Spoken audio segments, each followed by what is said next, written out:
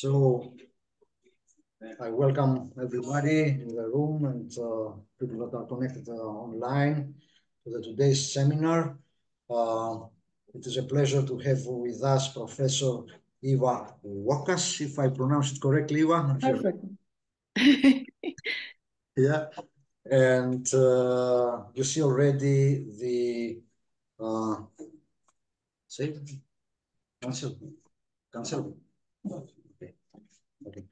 Uh, you see already the title on the screen will be about buckling stability in galactic bars. Ewa, for those of you that work in galactic dynamics, is a, a known, very well-known researcher in the field. Uh, she comes, as you see, from the Nicolaus uh, Copernicus Astronomical Center that belongs to the Polish Academy of Science. Um, she has worked in cosmology and galactic dynamics, focused in the dynamics of galactic bars, especially the central part, the peanut. Uh, we've heard several talks about the central component. Uh, and uh, the today talks about the buckling stability that leads to the formation of uh, this uh, part of the galactic bars and the relation with the galactic bars and all that stuff. I see that already that there are people in the room and uh, online that are very interested in the subject. So Ewa, you can start. We are uh, looking forward to listen to your talk. Mm, thank you very much for the invitation. Uh, so uh, I will make it as simple as possible. I will describe what what uh, what I have done a few years ago, but uh, which has been recently uh, improved or extended by others. So I, report on that, and I will also um, tell you about um, uh, some uh, open questions that uh, that are still uh, unanswered. So let me um, start by reminding you what what is the motivation of this work. So first of all, we observe that there are uh, some central parts of galaxies uh, or bars that have these boxy peanut shapes uh, that you see here uh, on this picture. One example of a, of a galaxy with this uh, very pronounced shape, a beautiful example. So the idea is to try to understand uh, what is happening that produces this, this kind of shapes. So for about more than uh, three decades now, we've, we've thought that we know what's going on. It has been uh, called uh, buckling instability. This is a kind of uh, a phenomenon that uh, happens in uh, strong bars. So first, when we simulate the formation of the bar, we, we, we see it growing, and then at some point, it um, distorts out of the plane of the bar or the, or the initial disk. And we see something like uh, here on, on the left, uh, it, uh, it is fluctuating a bit, this, this shape, and then it becomes, mm, the bar becomes much more thicker and ends up with this boxy peanut um, shape in the end. Uh, the origin of this uh, instability is still controversial. Also, some people, there are two schools essentially. Some people think it's uh, uh, so-called fire-hose instability, which is related to the velocity dispersion of the stars uh, in the bar, and something that is more related to um, uh, vertical um, resonances in the bar.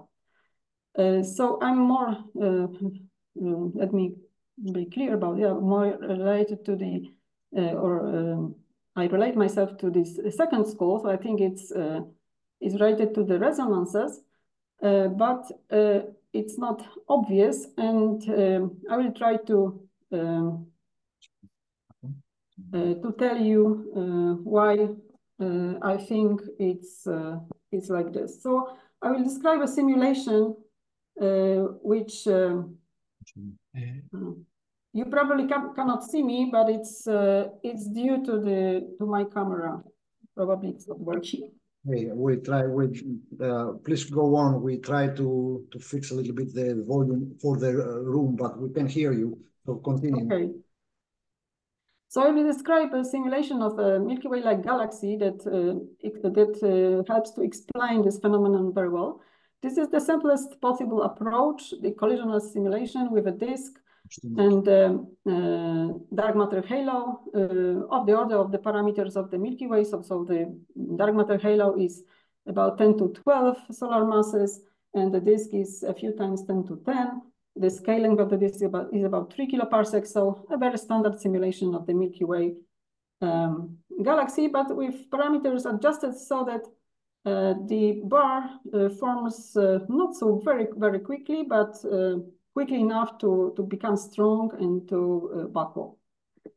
So the usual thing that we uh, can measure about the evolutions of this evolution was followed for 10 gigayears. Most of the plots that I will show will, will be as a function of time for, uh, for 10 gigayears. So the simplest and the most common way to, to measure these properties of the bar or strength of the bar is to calculate the Fourier modes, uh, to decompose the surface density into Fourier modes and to measure the second mode, which is the A2, the well-known A2 parameter. And so on the right here, you see the evolution of this uh, um, A2 as a function of radius. On the left, in the lower, you see the uh, in red line uh, how it evolves within a fixed uh, radius of about uh, two scale lengths of the disk, so within six um, kiloparsecs. So you see that it grows and then at some point, it, it's, uh, it drops, the A2 parameter drops, and then it grows a little bit again. You see here also the axis ratios in the top uh, panel, which also show a, a sudden jump at about 4.5 gigayears. Uh, and this also reflects uh, itself in the in the triaxial parameter, which is measuring the the shape in terms of whether it's prolate or oblate. So it becomes more and more prolate, a little bit less at the time of this jump, and then more and more prolate, so the bar grows. Uh, we can combine this uh, two measurements as a function of time and radius to show bar evolution in this uh, beautiful plot in color-coded. Uh, this shows the strength of the bar in color as a function of radius vertically as a function of time horizontally. So you see that the bar grows, it becomes uh, a bit longer, a bit stronger until about 4.5 gigayears. Then it becomes uh, suddenly weaker and then it grows again until uh, the end of the evolution. So this shows that there's something, something happens here about 4.5 gigayears, uh, where the arrow shows. And this is buckling. So what we see when we look at this uh, surface distribution of the stars edge on, so perpendicular, we look perpendicular to the bar, uh, that at 4.5, it becomes very strongly distorted out of the disk plane. And then it oscillates a little bit and about five, five gigayears is already formed this, this uh, clear peanut, uh, boxy peanut shape.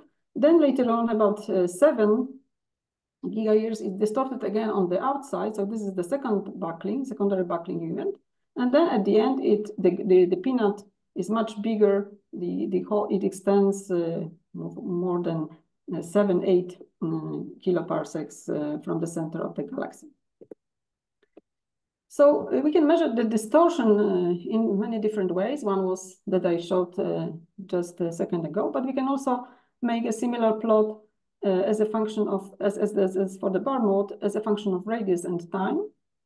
And here we see uh, the distortion, the mean distortion uh, along the disk in, in radial direction as a function of time. So we see that at the beginning it's is distorted downwards in the center, upwards in the outer part, then it's it's inverted, and then it's it's uh, dissipating or or it's dumped. But there is some difference remaining on the outer part, which probably seeds this second buckling. And said, see the second buckling here around seven uh. So the first buckling is much faster and happens closer to the center. The secondary buckling takes place in the outer part and it's much longer. And this is what we see, the, this is the one of the most interesting things. Uh, this is what we see when we look at uh, this galaxy uh, face on, and we measure the distortion uh, in the right column, the velocity change and acceleration. So when we look at the distortion at the 4.5 here in the upper right, uh, you see that there is um, characteristic uh, quadrupole pattern, there is a distortion downwards here and outwards, uh, upwards in the outer part. And this uh, quadrupole pattern is not uh, strictly aligned with the bar. So this, this is a, bit, a little bit rotated with respect to the bar. The bar is always along the x-axis here.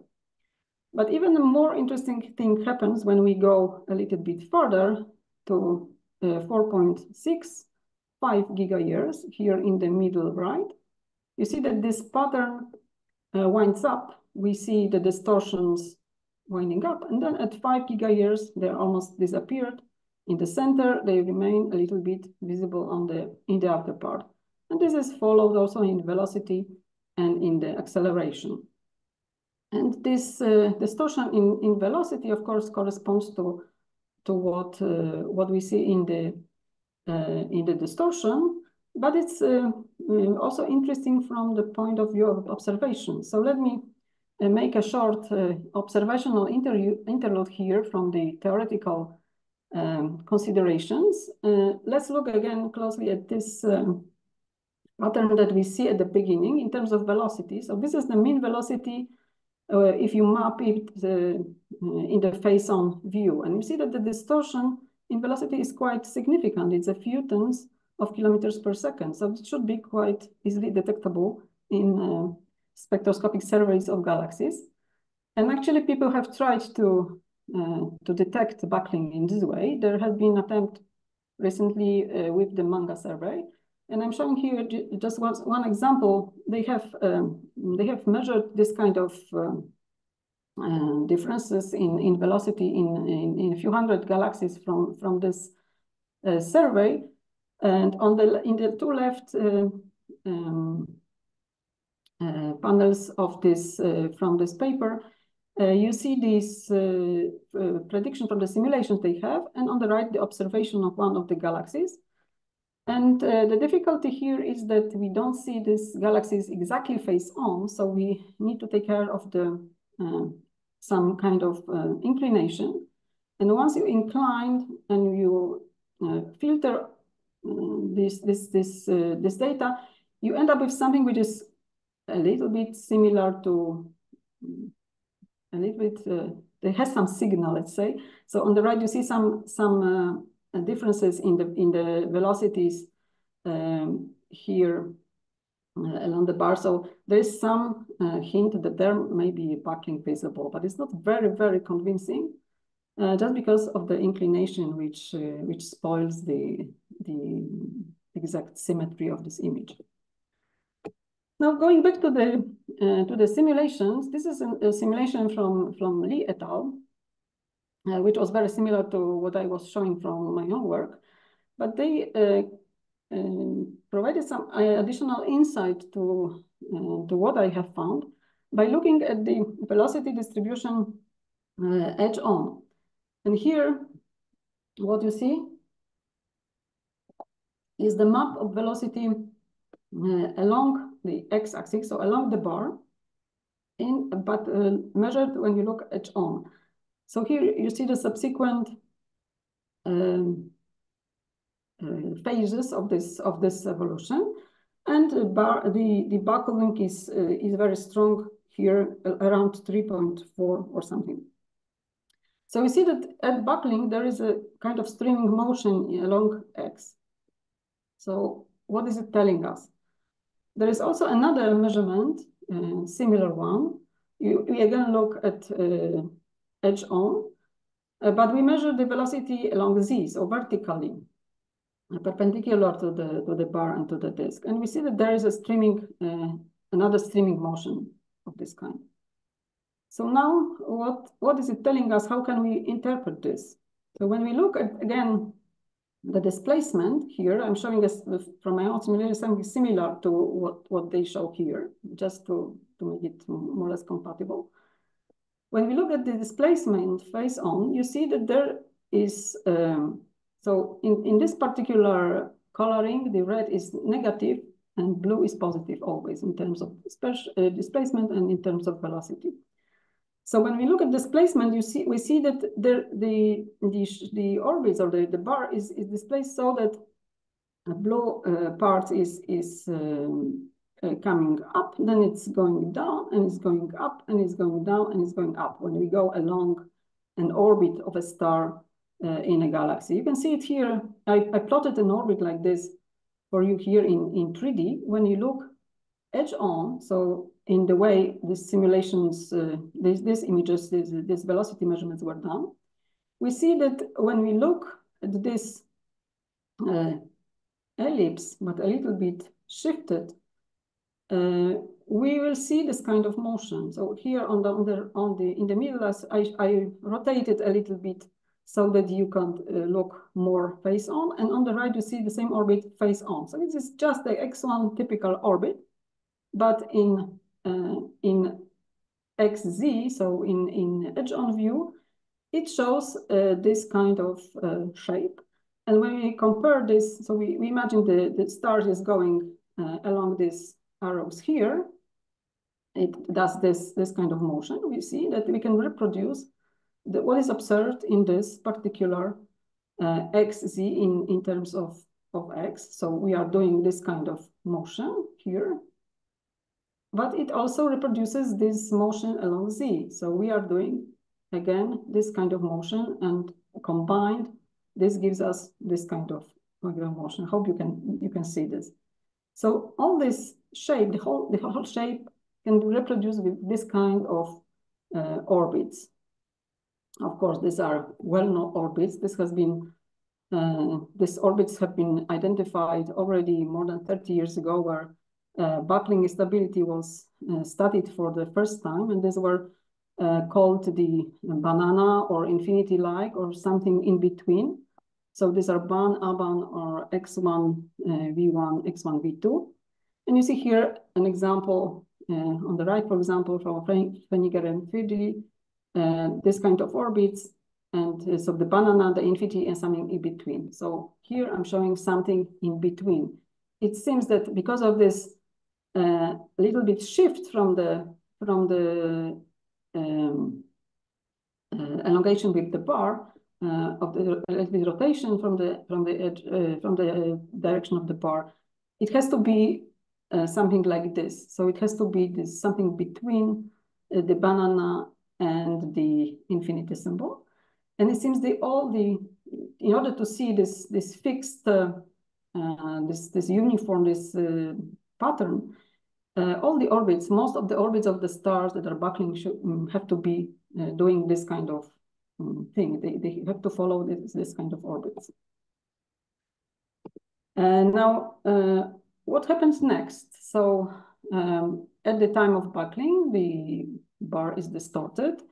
It's um, mm, it has this orbit, but later on, uh, something else happens. So here I'm showing one example of orbit uh, which I traced uh, before buckling, during buckling, and after buckling, with some periods that allowed me to measure the frequencies uh, and to study the frequency distribution for whole sample of orbits. But let's uh, see just one, one uh, case here. So first of all, now uh, at the beginning, before buckling, this is the usual X1 orbit with a very little um, range of amplitudes in along the Z direction.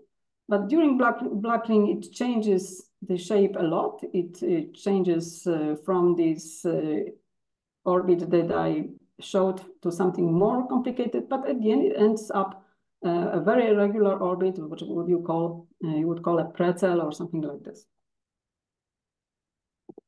And uh, I did it for about 200 stars in this kind of simulation, so about 20% of all stars that were uh, there. So I selected those that um, buckle actually, so they and they initially are along the bar and they buckle in the sense that they increase their amplitudes in the z direction. And for this particular subsample, of stars, I find that the frequencies uh, along the bar, along x, and along z, along uh, the vertical direction, change.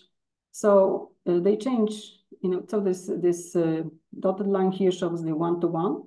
So you see that uh, frequencies along X uh, increase, while frequencies along Z decrease. And this is a systematic trend. They all these stars follow this, they obey this, this kind of um, relation. When we look also, we can also look uh, at uh, how the uh, amplitudes of this motion, of these oscillations uh, behave. And we see that, so I'm showing here the, the amplitude along X before uh, and amplitude along Z before buckling and the same after buckling. So you see that uh, the amplitude uh, along Z increases, which means that the bar thickens. So there is also a nice um, mm, difference here. There's a, like a two branches, which is, which is the this is the the inner part, which is already forming the uh, X shape, and this is uh, outer part, which is more uh, not not yet completely uh, buckled, maybe, but there is a clear uh, signature of uh, increasing thickness because the amplitudes in, in Z increase. Uh, the most more interesting thing is how the uh, frequency ratio evolves. And again, here I'm showing as a function of amplitude along X, so along the bar, uh, before and after buckling. And here you see that the ratio of the frequencies, Z and uh, X, along Z and X before, and after buckling very different. So uh, this ratio was uh, a little bit uh, along two and higher. Here it's two and lower. So all these frequencies evolved, the ratios evolved down and they, in this right-hand side, they, they, you see that they follow very uh, narrow uh, region. So uh, the frequency changes a little bit as you go from, from the inner to the outer part. Uh, so this also tells us something about the kind of orbits that we have at the end. And the most interesting thing about this is that when you plot uh, the frequency along Z as a function of frequency along X, before and after buckling, there's a significant change. So before buckling, they are aligned, but not so precisely. But after buckling, they're aligned very, very precisely but they are not going to the center. So there is not a one-to-one correspondence and one uh, linear relation. But there is a relation that you can approximate uh, with this formula that I'm showing here. When, uh, when I guessed that here, this, this shift here along the z-axis is uh, at least numerically close to the uh, pattern speed of the bar. Once you combine this, you will see that at the end, this relation is very well approximated by the relation between this vertical and this circular frequency, and this does not have the pattern speed in, in it. This is uh, quite of strange and uh, difficult to explain, but that's an open question. How does it come and uh, what does it mean? Now, so I here I studied only uh, the frequencies before buckling and after buckling be because I used free, uh, Fourier analysis. So I, I had to select some uh, uh period of time to do the to do the um, Fourier transforms. Uh, but Li et al., the paper was over, uh, in the paper that I have already mentioned, they did the analysis of the frequencies at different times by actually following the orbits of stars, uh, exactly. And they found a similar thing. So before buckling, this is the relation very similar to at, two, at uh, time uh, 2.5 gigayears. They have a, a, relation very similar to what they found. At the end, they have a very similar uh, linear relation, but also not going to the center. But the most interesting thing about their finding is that at at the time of buckling, which for them is about 3.3 gigayears, the uh, frequencies are exactly along the two to one resonance. So it proves that they, uh, all the orbits during buckling go to the two to one resonance, but it's only at a very short period of time during the first phase of buckling, then they evolve into uh, something else.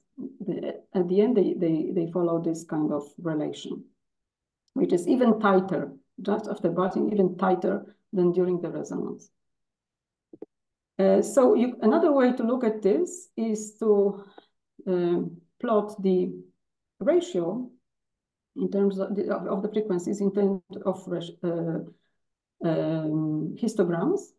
And you see here on the right uh, the the distribution of the of the ratio of the frequencies before buckling in the top panel on the right and here after buckling in the uh, lower right. So you see that, uh, as I've said before, all these frequencies are above two before buckling, but they are below two uh, after buckling. So all they they all go from here to the other side of the two to one. So the from the, uh, the other side of the of the resonance.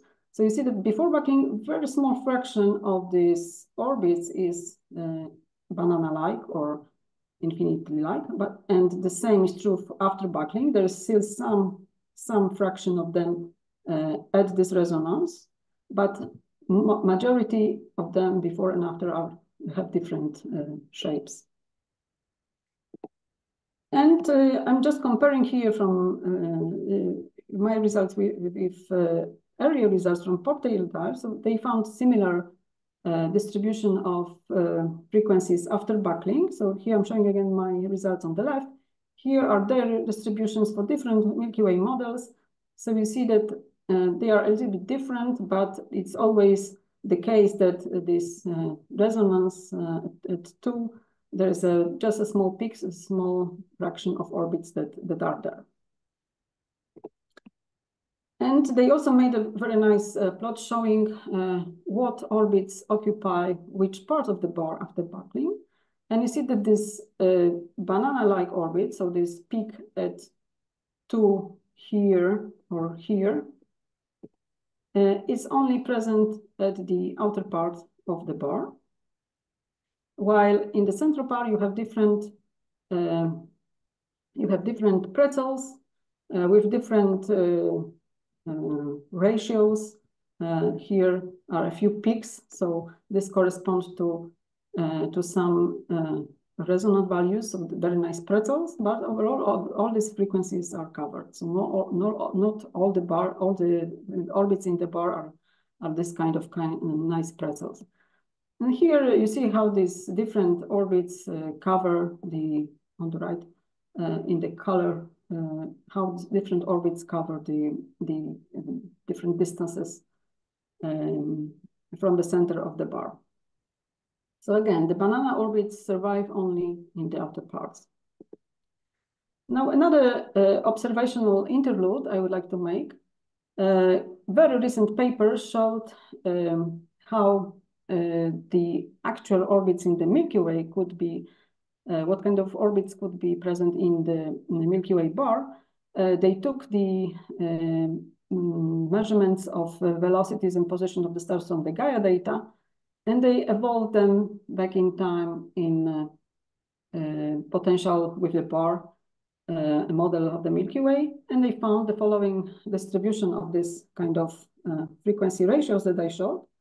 So they, contrary to what I have showed you, they have a large peak at uh, two, the banana orbits, a little bit peak here corresponding to pretzel orbits, and also there is a lot of uh, contribution at higher, frequ frequency ratios. And when you uh, uh, show, when they show the where these particular orbits are present, you can see that the bananas are on the outside, pretzels on the inside, uh, but of course, these are for all stars that they had, uh, so we cannot uh, really distinguish uh, the stars that buckle from those that don't buckle, that did not buckle. So it's probably a combination uh, of the stars. There are actually pretzels are on the inside and bananas on the outside, which which is good, which is in agreement with what the simulations are telling us. Okay, so now let's go back a little bit uh, for, for a moment to so what I've shown is, uh, I hope, convincing that uh, actually we are having the, this two-to-one resonances at buckling, vertical resonances, and these are responsible for at least the initiation of the of the buckling. So what about this other interpretation, this uh, fire-hose instability? In this fire-hose interpretation, uh, people uh, try to derive a condition for the instability, and usually they end up with some condition on the ratio between the uh, velocity dispersion along Z and along R. And I'm showing here from, from my simulation how these dispersions evolve. And you can see that uh, the, um, the one along R, of course, increases as the bar uh, grows. Uh, the one along Z becomes a little bit um, um, larger, but there is a, a sudden change at buckling. And when you look at the ratio, there is a decrease first and then a strong increase at buckling. So what is it telling us? Is it telling us that this is the critical um, uh, thing that we have to that we have to rely in order to explain, or is it just a measure of the shape uh, of the of the bar that actually can be translated to to the frequency ratios that that is present and to the resonance that that is occurring at some point? It's an open question. So let me uh, now mention also a few uh, results uh, from other simulations. So there is also there has been uh, for a long time um, a question whether a gas uh, how the gas fraction in the galaxies uh, affects buckling. So I did a very simple. So this has been studied by Leah at some point, but here I I um, assume that there is no star formation. So I kept the gas fraction um, constant in order to see how it really affects uh, the evolution of the bar. Because when the stars form, form then uh, there is a less and less gas, and it's difficult to say how the gas affects uh, buckling because uh, by the time the bar buckles, there is uh, often no, no not, not much gas left. So here I'm keeping the gas fraction constant and it follows the stellar distribution. And I looked how the buckling uh, um, is affected. So these are the different, uh, these are pictures for different gas fractions. And you can see that, that with, this, with this is a no, uh, no gas here in the upper part, 0 0.1, 0 0.2. You see that the buckling in terms of velocity distortion here in the right column becoming much weaker in time. Uh, in uh, in the growing with the growing gas fraction, and there's almost no uh, no buckling uh, for a gas fraction of uh, 0.2. For for 0.4, uh, even bar didn't form. And here I'm showing the same, but measurements in terms of the asymmetry A1 along Z. So, so this is uh, showing again the same the same thing. So the, the distortion is largest for uh, for the zero, zero uh, gas fraction and smallest for, for high gas fractions. So this is uh, showing us that buckling is indeed uh, weakened uh, with higher gas fractions. And now a little about the what happens in tidally induced bars, of, on which I have been working also a lot. this is um, an example of simulations uh, where we have two uh, disks, uh, two Milky Way-like galaxies passing by each other, and one is on prograde orbit, so the spin of the galaxy and the orbital angular momentum are aligned. One is on retrograde um, uh, orbit, and it turns out that, so I tried different uh, uh, parameters here so that to, to increase, so along um, B1 to B4 at four simulations where the strength of the interactions was, was varied. And um, it turns out that uh, um, the stronger the interaction, stronger the bar as a rule. But only uh, for prograde interactions, the bar forms. And in isolation, this, this galaxy, of course, didn't form a bar. So here's the, how the A2 evolved in these different uh, simulations. So the blue one is the weakest interaction and weakest bar. The red one is the strongest interaction, strongest bar. So you see the A2 grows um, strongly, then drops down. And here is the uh, ratio of the velocity dispersions that is essential in this fire-hose instability interpretation.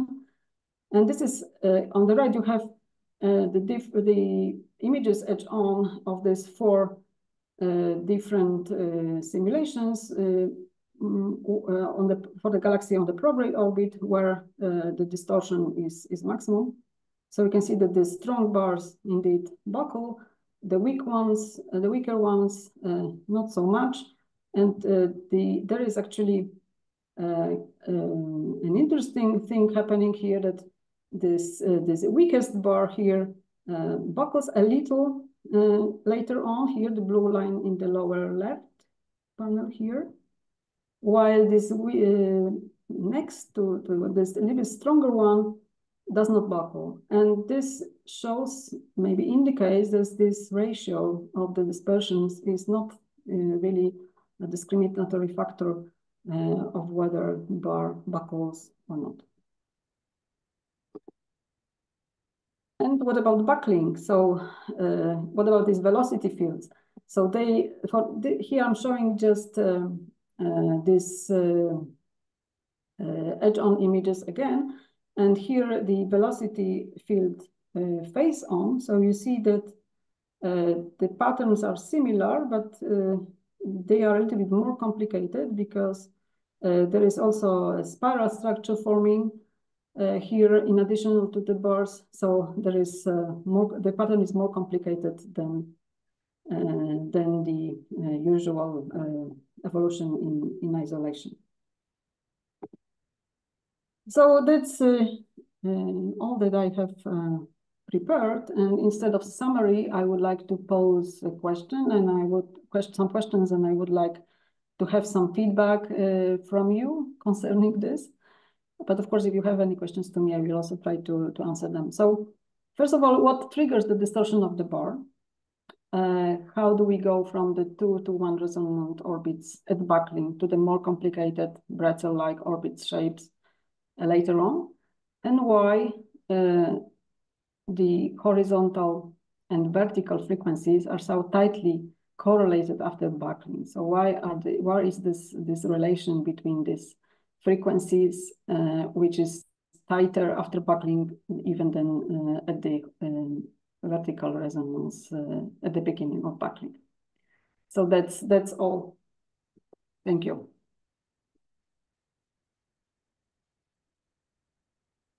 Thank you very much, Uh, let me now again here so that we can see.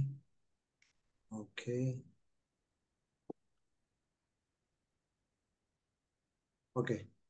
So, uh, well, uh, questions uh, are already put by the speaker on the screen, but uh, uh, if one has, uh, first of all, some kind of uh, other kind of questions or remark, from the audience or from the people who are following the just please just speak. Uh, Christos yes please. from zoom is it okay? Yes yes we hear you. Go on. So well thank you very much for this very nice talk. I mean my question has to do with probably the mechanism of the buckling instability. So let's say it all looks like a phenomenon of either capture into resonance or maybe from what we see in the, the earlier plots where you have the comparison between the banana orbits and the pretzel orbits and so on, maybe decapture from resonance. So essentially my, my question is, is there any understanding of the phenomenon in terms of capture or decapture from resonance. And then the question is, what is the main parameter of the dynamics that drives this? This could be, let's say, the slowdown of the bar. I mean, what is it that if you, if you think about an adiabatic change in the nature of the orbits, so you have orbits which are resonant, and then with the change of a certain parameter might become non-resonant and vice versa. What would that parameter be? Would that mostly be the change in the pattern speed, or would that be the change in the amplitude of the bar and so on?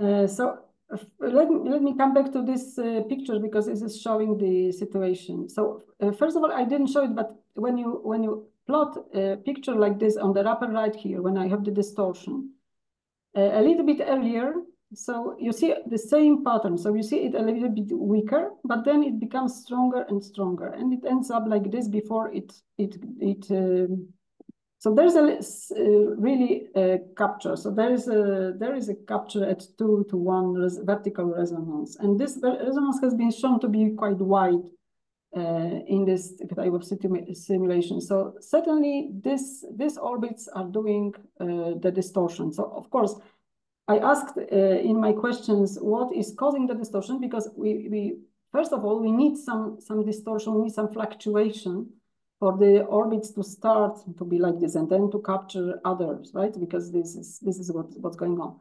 But later on, what we see here on this in these later stages, so at some point this um, this uh, pattern starts to wind up, right? So why why does it wind up?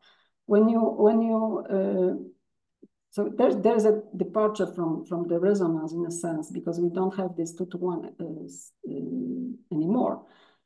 Uh, but what happens, you can understand this in terms of um, um, evolution of the uh, uh, distortion waves, right? So you can you can uh, when you when you look at into Binney and Tremaine, they show it in term uh, for for an example of a of a warp. So they show how the warp, so um, m equal one distortion, not m equal two, would would evolve. Uh, but you can do a similar exercise here, and you and you, when you do, uh, you can uh, describe this kind of uh, evolution uh, in terms of two bending waves that are that are propagating in in in this. So this these two bending waves at two different pattern speeds, and one is slow, which I think could be the one that is surviving and seeding the secondary buckling. But one is uh, fast, and this is this, the fast one that we see here, right? Which is which is mm, which is uh, bound in the end. So wind up, wound up in the end. So uh, I have no idea how to describe it, how to um, go from this two to one orbits to this more complicated orbit. It must be some somehow related to this uh, winding up of the of this um, uh, displacement waves that, that we have here. Uh, can I add something to, to, to that? Because, yeah. Uh, well, actually, this bending wave picture is a collective picture, let's say, is in terms of waves on the disk. But let us stick a bit on the to the orbits themselves, let's say, to, to see. Well, actually, if you make a 3D description of the disk, let's say, you have three frequencies. I mean, the, the fundamental frequencies would be, let's say, the, the rotate, the angular velocity, the epicyclic frequency on the disk, and the vertical frequency. So whenever we say there are two frequencies, actually in the X1 family, you have already a resonance between the epicyclic frequency and the rotating, let's say, the angular velocity and so on. So my question is, would that make things better if the analysis had been done in terms of three fundamental frequencies, including, let's say, as many as the numbers of degree of freedom instead of two frequencies, which would be one in the plane and one off plane? I don't know. I haven't tried, but that's certainly a way to, to think about. Okay, thank you. But my, my main question is how do we go from this kind of orbit that I showed here to the pretzel orbits? So we, it has to, the, the bending wave has to affect this orbit in order to produce uh, this kind of orbit, right? To produce uh, these. Uh, right. But let's say take that final orbit and check it face on also. I mean, the question is, it, is it still looking like a resonant orbit so this is the this is uh, the face on view here on the top. Top right, you have the face on view. Okay, so there you see there is no resonance already. I mean, you have three frequencies there. You have, let's say, two frequencies on the disk. There is a resonance uh, because this orbit, this particular orbit is here. So it's uh, three to two in terms of uh, in the face on view. So it's a kind of uh, fish, or let's say something like this. So it's not uh, the ellipse orbit, but it's still. Okay, I mean, we need to discuss this more in more detail, but I would say from the from the point of view of just checking the orbit, the way it looks like, I mean, it doesn't look very resonant altogether. The in the right, in the left, uh, let's say panel, you clearly see something like a tube around an X1 orbit or so on the plane. But in, Right. in the left, in the right one, I wouldn't be able to distinguish any tube. I mean, it looks way It more. it is there, it's not well visible, but it is three to one, three to two uh, in, Yes, in this one, in this, uh, in the face on view. yes, Mm. it is. And it, you can see the resonances on that one. Yeah. Christoph. Okay. So it's sitting in, in this, uh, in this peak here, in Hmm. the uh, Y to X. And if you go one back, please, Ewa. Mm. Yes, you can see it that there's two, and then there's another one because there's another. Ah, they, they don't have the third frequency on this plot, but Yes, there is but another paper who had this, uh, which had this diagrams, and they showed different. So this would be the two to one, and then there would be another two to one in the different plane. Yes, exactly. When Yes. you plot, uh, so I act- uh, actually noticed this also here uh, or here. When you when you plot this kind of frequency uh, plot for for this two, three to two, you will see another branch, but you will when you look in this direction, you will they will overlap. So this is the same thing. Uh, so this uh, this and this uh, peaks in in a face on view, they they all come into this in the in this frequency ratio. So it's it's it's still there. Yes. And in fact, there is a paper that has done that quite um, in detail. Uh, as far as I remember, it would have been around 2015 or 2016, something of that order. And there is another Chinese, not Li. It- The Chinese uh, with the most normal name is Wang. So it's Wang et al. Okay, I have a look. Yeah, Wang et al. And if you don't remember, the second one is me. So you would you would find that one easier, perhaps. Okay. Good. Thank you. Well, uh, I mean, in the, we have to have in mind that uh, whenever we are looking for orbits, we do not point to periodic orbits. So, uh, a comment I have for the uh, orbits during the buckling states, if it is X1 V1, as we call it, or X1 V2, actually we cannot say, for instance, this because it's a matter of projection. And if you take uh, a quasi-periodic orbit around the stable X1 V1 or nearby sticky orbit X1 V2, you get similar shapes. So actually, this doesn't matter because uh, it it will be two to one in both cases, or even if it is well aligned to the, uh, the side on view, and then you do a, you view the same orbits from different angles, then you may get something like that goes towards an infinite or H-shaped uh, structure.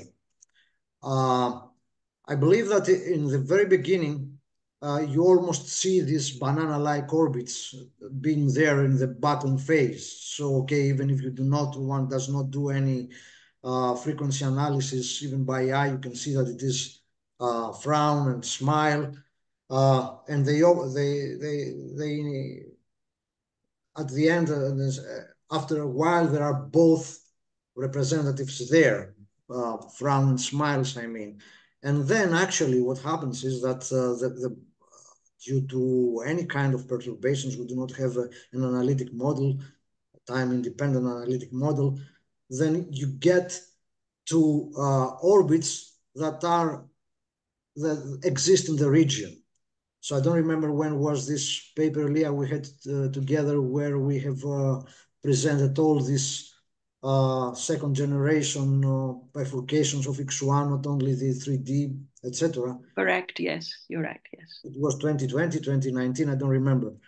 Uh, and uh, for me, it is something what, that uh, is understandable in this way. So you displace the initial condition of the orbit you study, and then you get, for instance, uh, the orbits that you had there with the Bretzel Levi. You can have this uh, slide again, uh, where there were the the the banana likes together with uh, the orbits we discussed before if they are resonant or not. These are typical typical second generation uh, orbits in the region. So yes, yes, I agree. Like, uh, the initial condition of the orbit you study uh, to another nearby uh, position in the phase space, and then you get what you get. Now, it is very interesting what you said that uh, I guess that you speak about the peanut component. So at the edges, still you can find the two to one, and then uh, closer to the center, uh, you have bretzel or other kind of orbits. Right. But uh, uh, there is always a question that we tried several times to understand it by populating different families, etc why the wings of the X sometimes cross to the center and sometimes do not. Maybe this is also another explanation so that uh, at the edge of the peanut you have the two to one that give the wings of the X, while in the middle you have already this uh, this second generation families that if you put several representatives of them together and you look how they look like, they do not make an X and so you lose the x. But these are uh, half, let's say, the peanut. Then you have just the edges of uh, the x at the end. Maybe this is just a simple explanation. So just hitting the system, then you will not uh, be, let's say, if, if we speak about, let's say, the easy solution about stable periodic orbits, you will not stay about, uh, uh, on the tori of the quasi-periodic. You will be displaced a little bit farther out.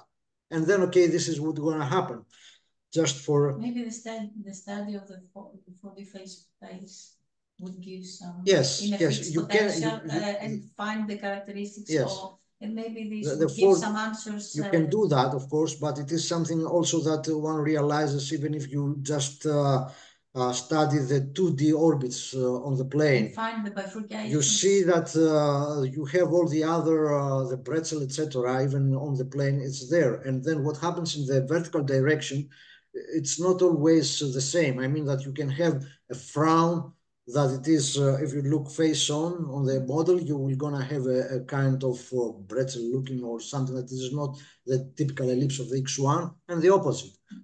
So all these combinations are available there. So model dependence are very strong in all these cases. But probably if we see that in the outer part of the peanut, uh, whatever kind of uh, two to one uh, survives is there, then what I said before could be an explanation. Mm -hmm. And just remember that like in the uh, uh, spirals uh, on the face-on views, they, they do not have the majority of the orbits there, but there are those that are aligned in this way that they produce the structure. Maybe the same happens in the vertical direction. Also, out orbits. Sticky uh, out orbits, yeah, okay.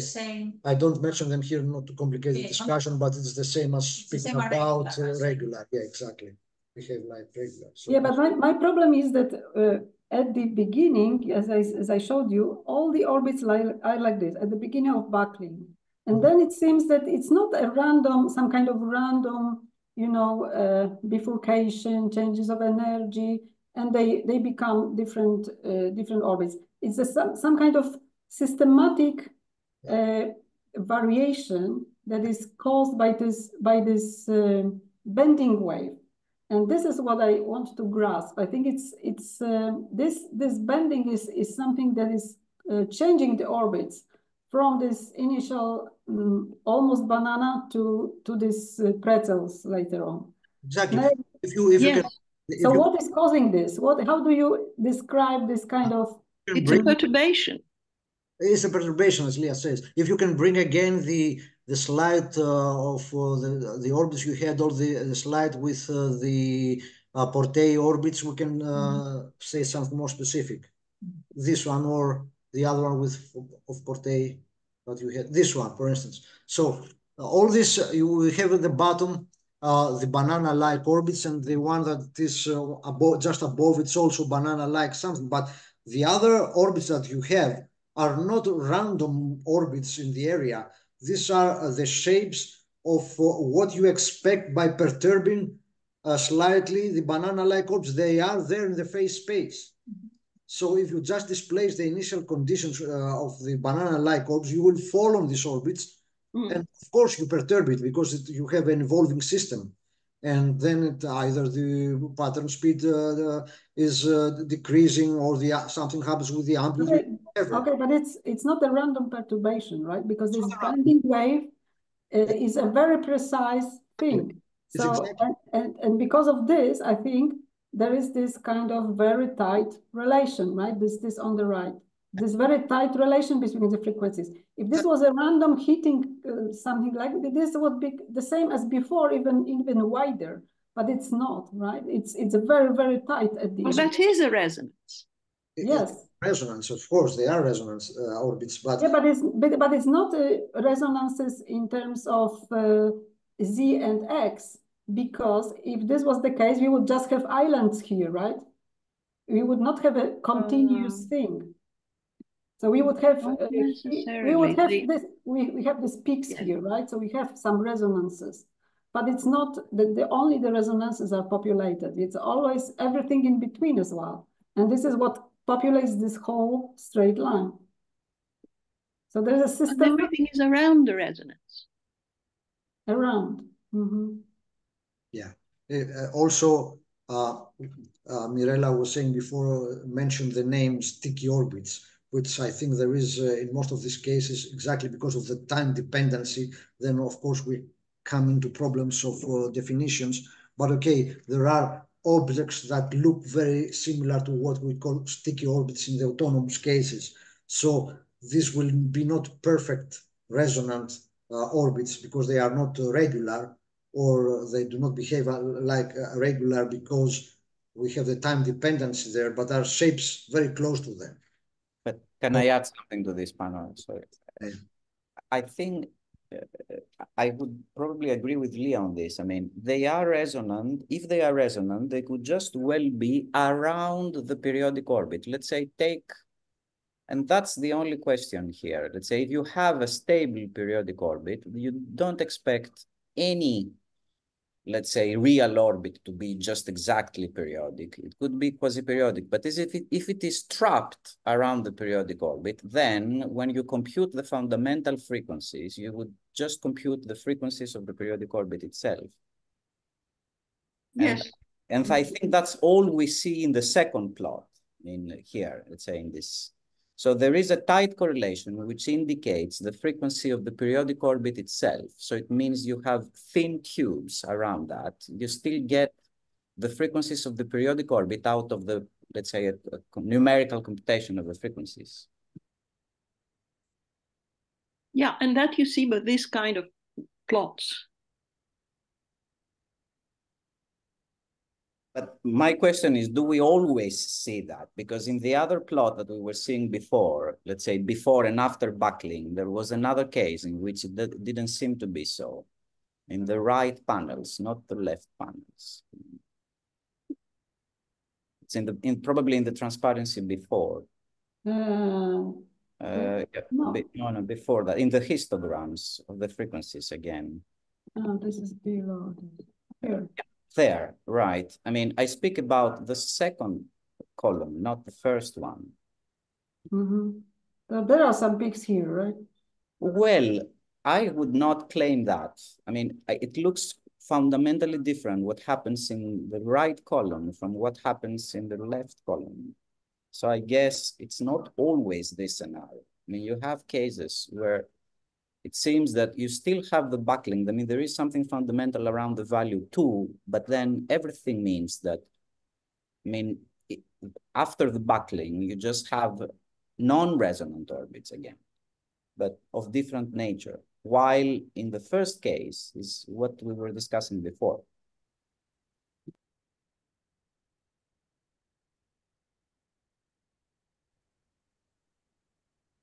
Yeah, and I think this is what was in that paper, if I remember correctly, I, the one I told you about before. It, and you all you have to do is take the frequencies because that is the easy, well, the easy, the one we know about how to how to get or go about. And so you would have like uh, omega one, omega two, and an omega three, and you you use something like um, of the works of uh, Laskar or something like that, and, and then you see exactly that. And there are two to three of those.